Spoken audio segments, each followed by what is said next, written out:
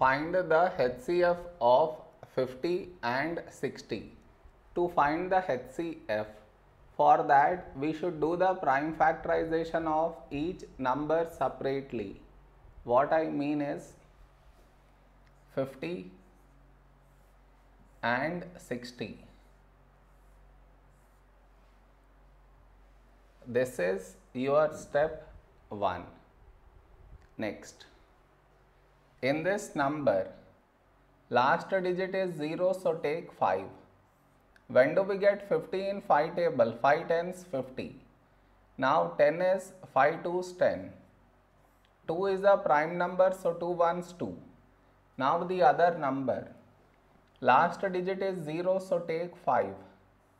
First number 6. A number close to 6 in 5 table is 5 ones 5.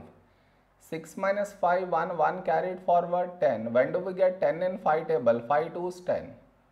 Now 12 is 2 6 12. 6 is 2 3 6. 3 is a prime number so 3 ones 3.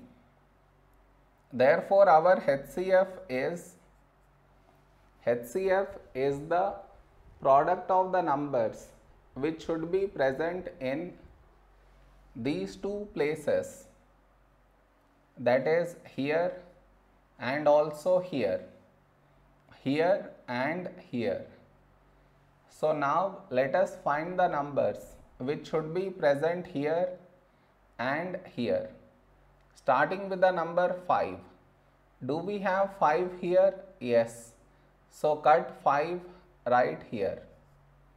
Next number 5 do we have 5 here? No Next number 2. Do we have 2 here? Yes.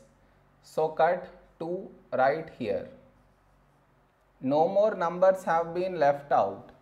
So our HCF is 5 into 2, 10 is our HCF.